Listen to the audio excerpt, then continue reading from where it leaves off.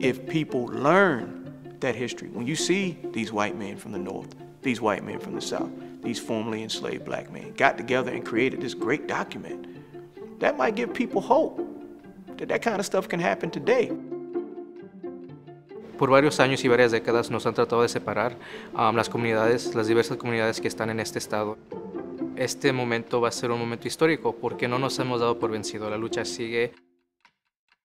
In 1868, just after the Civil War, a racially diverse group of North Carolina legislators called the Coalition for Justice came together. They wrote into the North Carolina Constitution the right for all our state's children to have a public education, a radical notion at its time. Their work is largely unreported. So 1868, uh, this is Reconstruction, and one of the uh, conditions of readmission into the Union were that these Southern legislatures, these Southern governments, state governments had to rewrite state constitutions. And so this is our Reconstruction Constitution, but it's also the first time that black men, many of whom were formerly enslaved, have the opportunity to help craft the document that's going to govern the state that they live in, the state their families, their children live in. When you talk about the resilience of a people who have been enslaved for hundreds of years, and then these men are born into slavery, teach themselves how to read, and now they have the opportunity to work on this document and help craft it.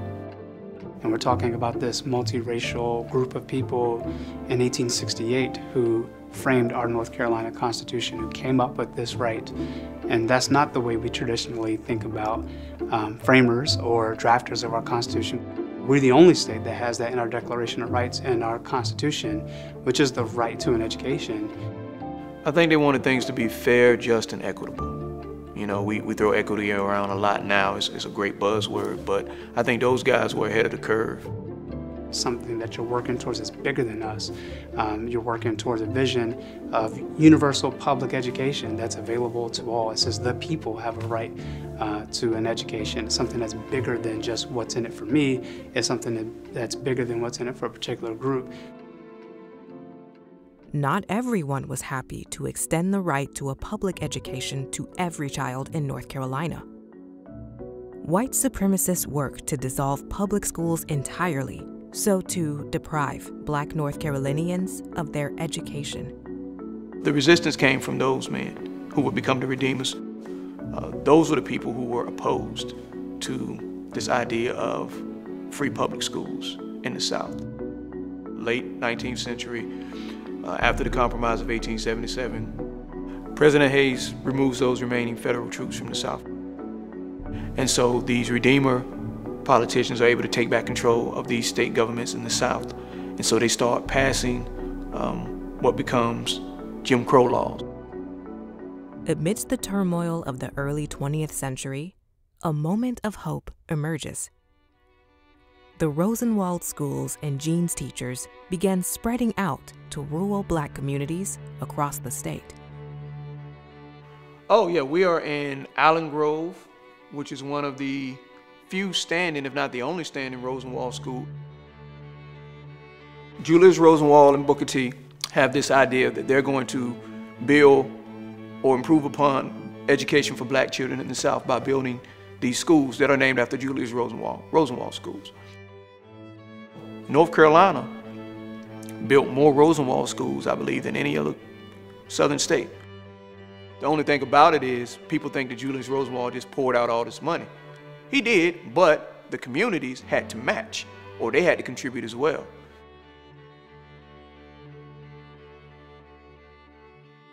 That's one of the things that I think is lost when we talk about Rosenwald schools. It shows how much we valued education.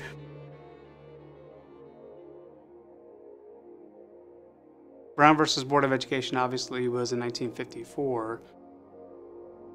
They fought against it. Lieutenant Governor Hodges, who became the governor when Governor Umstead passed, who put Thomas Pearsall in charge of finding out how we're going to make Brown versus Board work in North Carolina. His whole thing was, you know, if they force integration on us, they're going to destroy the public school system, which was the mantra of a lot of white Southerners during that time. You know, we don't, it's not that we're against integration, just let, it, let us do it at our own pace. And uh, they came up with a lot of different things to, to fight against integration. The Pearsall Plan was one of them. The public schools of North Carolina are part and parcel of our state and its great progress. But let no one be misled as to how I personally feel about mixing the races in the schools.